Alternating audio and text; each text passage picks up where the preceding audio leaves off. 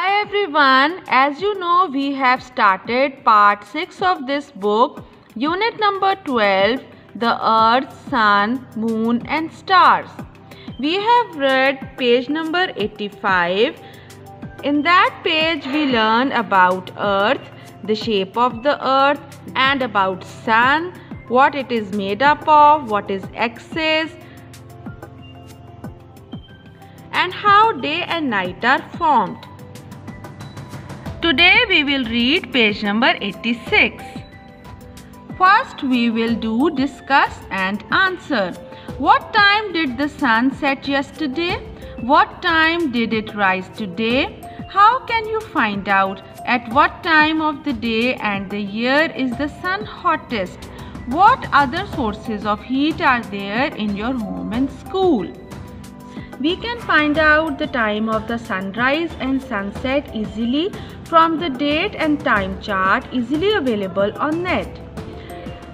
And 12 o'clock is the hottest time of the day and 21st June is the hottest day of the year. What other sources of heat are there in your home and school? We have electric heaters, we have gas heaters and stoves in our homes. The earth also travels through space. It also goes round the sun. It takes a whole year to travel once round the sun. The path it takes is called an orbit. Let's see what is an orbit and how all planets move around the sun. Orbit is the name for the path that an object takes as it moves through space on a continuous course around a larger object. The Earth orbits the Sun, and so do the other planets in the solar system.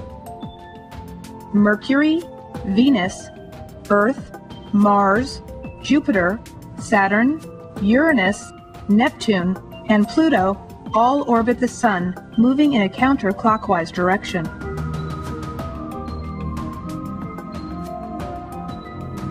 The strong pull of gravity from the large Sun keeps the planets, which are smaller, orbiting in predictable paths. Each planet travels its own orbit.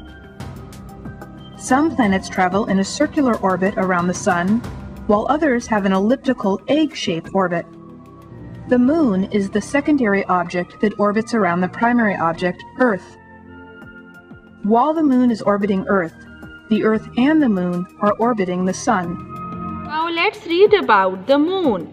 The moon is also a sphere. It is much smaller than the earth. The earth is 50 times bigger than the moon.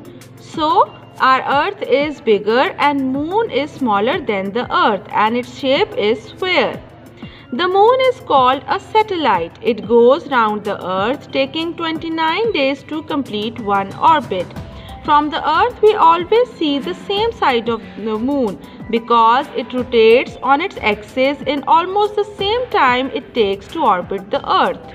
The moon is the Earth's only natural satellite. Do you know what that means? No, what is that? It means that it's something that occurs naturally in space that goes around and around planet Earth.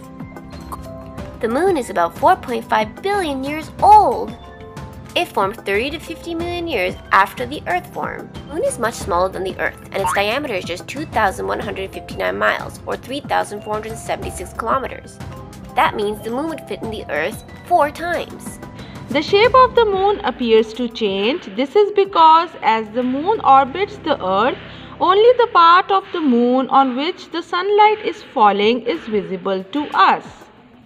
I hope you have enjoyed learning about different facts about the moon as well as earth. Now read page number 86 and ready for your assessment. Thank you.